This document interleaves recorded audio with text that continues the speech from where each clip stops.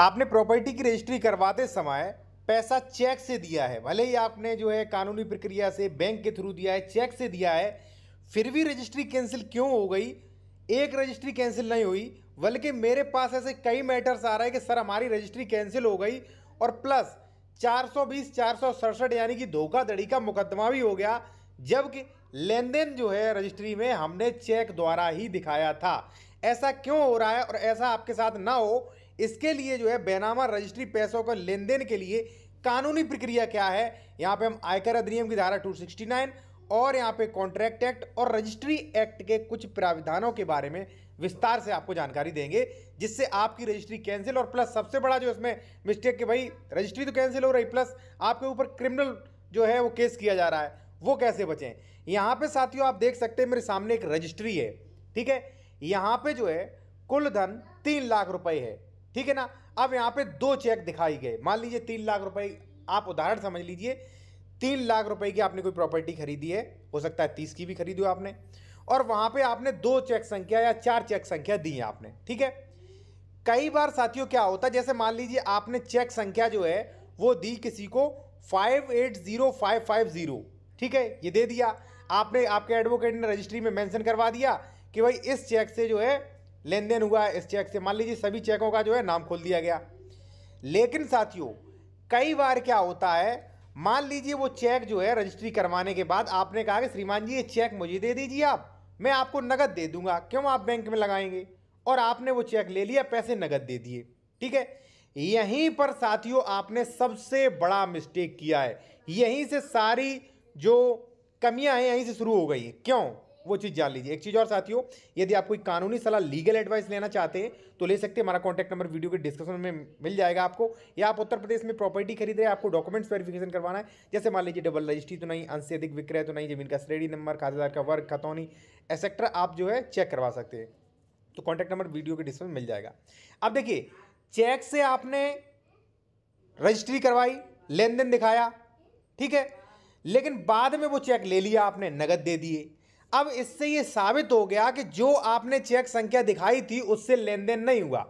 अब कल को वही विक्रेता, मान लीजिए कोर्ट पहुँच जाता है। वो कहता है कि, सर, मुझे चेक संख्या रजिस्ट्री में five eight zero five five zero जो दिखाया था। इससे हमें कोई भी, मान लीजिए ट्रांजेक्शन नहीं, इससे मुझे पैसा ही नहीं मिला। वो भाई जाँच के लिए आदेश देंगे। जब जाँच होगी तो बैंक वाले भी लिख के दे देंगे हाँ ये चेक मेरे पास आया ही नहीं, इससे कोई पैसा लेन देन नहीं हुआ। यानी कि फिर तो क्लियर हो गया कि आपने चेक दिखाया तो लेकिन पैसा नहीं दिया। आपने नगद दिया, लेकिन नगद का कोई प्रूफ नहीं है। ठीक है? तो यहाँ से आपके खिलाफ 420 हो सकता है में भी मुकदमा दर्ज हो जाए, जो कि कॉन्ग्रेजेबल ऑफेंस है गिरफ्तारी भी आपकी हो सकती है। पहली चीज़। दूसरी, रजिस्ट्री कैंसिल भी हो सकती है। रजिस्ट्री कैंसिल क्यों होगी साथियों?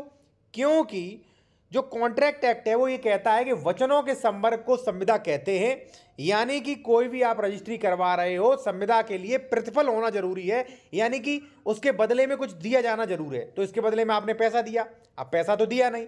जब आपने रजिस्ट्री के बदले पैसा नहीं दिया तो ऐसी संविदा बिना प्रतिफल के करार के संविदा शून्य शून्यकरण हो सकती है, स्पष्ट प्रोविज़न है कॉन्ट्रैक्ट एक्ट में।